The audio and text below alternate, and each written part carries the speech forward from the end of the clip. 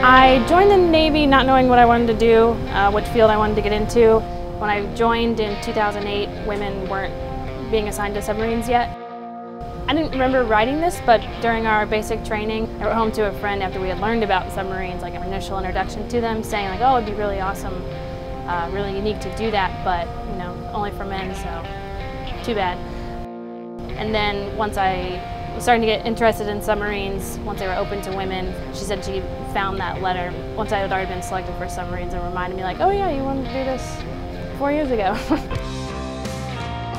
I'd never been underway on a submarine before and it was a lot bigger than I expected and a lot more complex.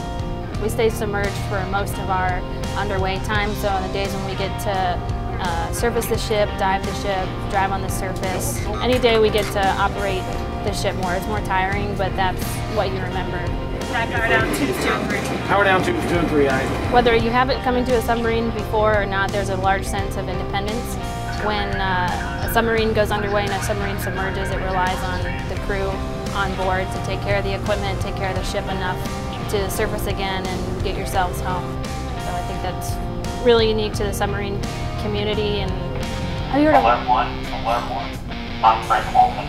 I actually need to go answer that.